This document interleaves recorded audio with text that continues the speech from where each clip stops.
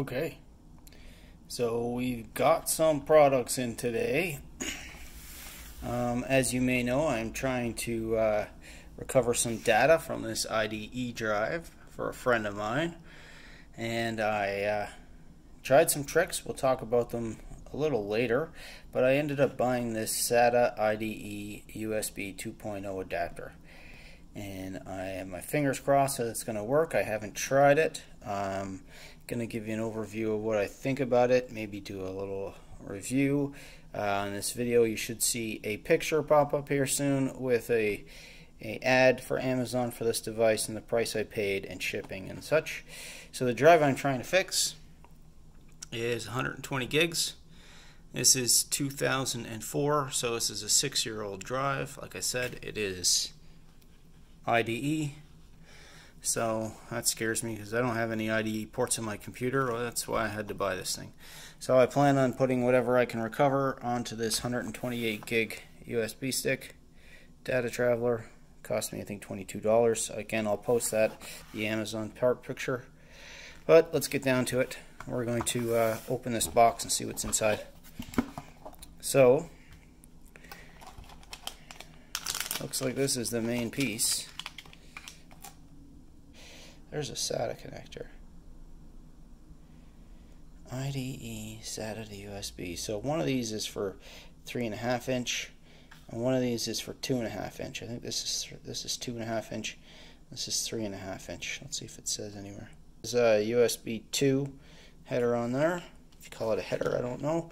Inside we have a typical power cord for a power supply. And then I think this guy is this is the power supply.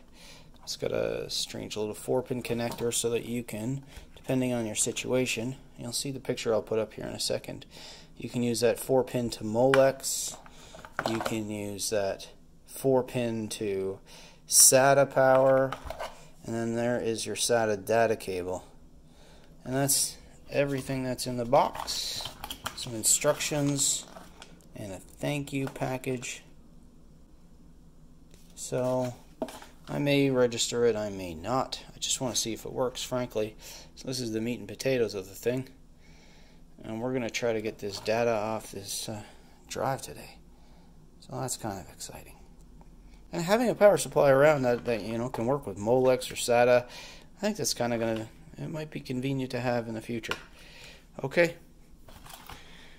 Let's hope we can get this puppy back to life, or at least get everything off of it as soon as we can. This connection goes Molex to power supply and then comes with this power supply.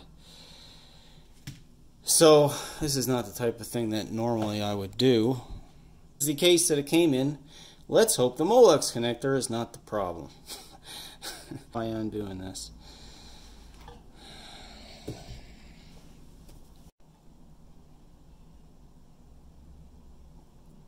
Wow. It all least I'll keep them separated with these plastic pins. Is that brilliant? Maybe not. That's what's going in there. Let's we're just going to see if the drive spins up or blows up or the house blows up or what. Uh, one of the pins fell out. That kind of worked out okay. Hey? It's interesting. We are now going to connect this piece ever so gingerly and it looks like it goes this way.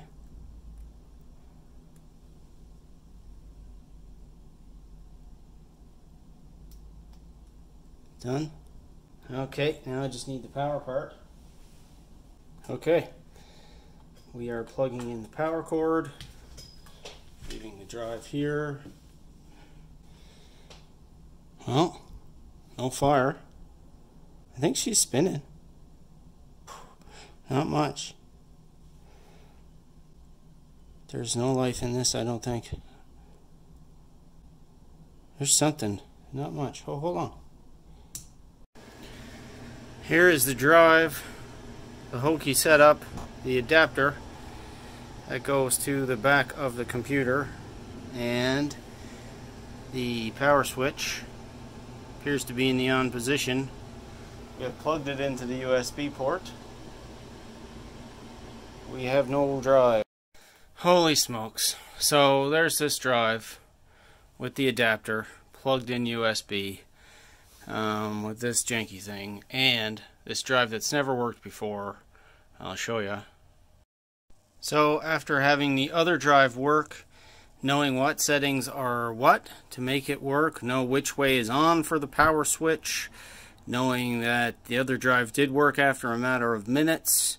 We're going to leave the IDE drive in right now and uh, cross our fingers that something great happens in a few minutes. And it's spinning. Oh, it's spinning. I got hopes. Okay. Okay. Because the SATA drive worked, and because this drive spins, I am still at a loss for what is wrong with it. I did a little, little research. I think I might need a jumper. I forgot about jumpers. This has been 15 years, you know, it's, a, it's an old drive. So I used my trusty old tweezers and squish those two pins together to make it a, a master. Fingers crossed it works. Let's see. Uh, we had purchased this, which uh, seems to work just great for my SATA drives. No problem. But the Molex connector was garbage, and I tried discovered I had a few drives that I thought were dead that came to life. I don't know how much I trust them, but anyway. So back on track. I ordered this, which I will open pretty soon. Um, friends, that would be the IDE side. That's the SATA side. So I'll take that out of the package in a minute.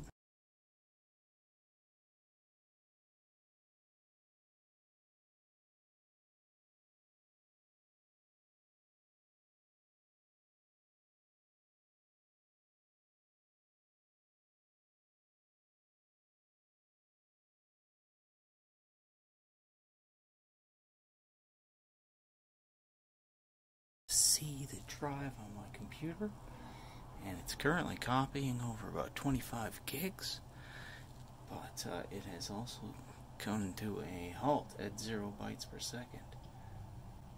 It worked for a second and now it's making noises. Oh hear that? That's not pretty I tried to copy over the whole drive. I tried several times and it uh, would get to like 10% it would just freeze.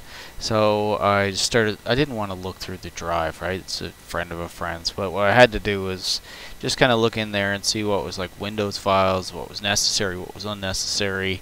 Um, I decided, you know, it was having so much trouble that I didn't go for any of the music.